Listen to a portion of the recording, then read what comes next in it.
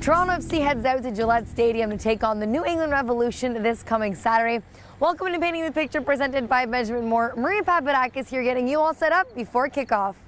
It was a big night for your Reds last weekend in the second round of the 401 Derby as they took a 2-1 final over our Canadian rivals, the Montreal Impact. After trailing behind in the second half, midfielder Marky Delgado struck from outside the box to draw the Reds even in the 63rd minute. Come the 81st, defender Justin Morrow delivered the game-winning goal to secure the crucial three points on the night, his first goal of the season. A Derby win is always massive, and with the dust having settled, Toronto FC has emphasized that they still have plenty of work to do.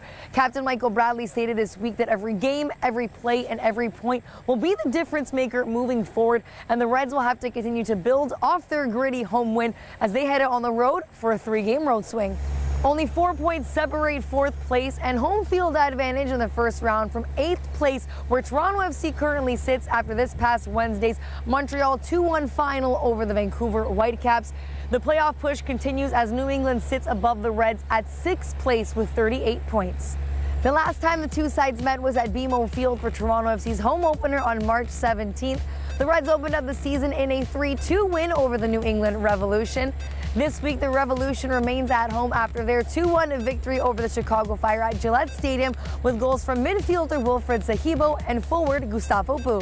Bou secured the three points for the Revs in the 86th minute, making it his fifth goal in seven MLS appearances.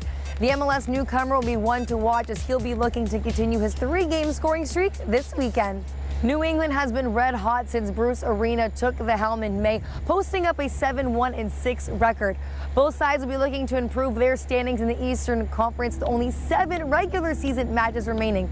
Make sure you tune in on TSN at 7:30 p.m. to support your Reds on the road.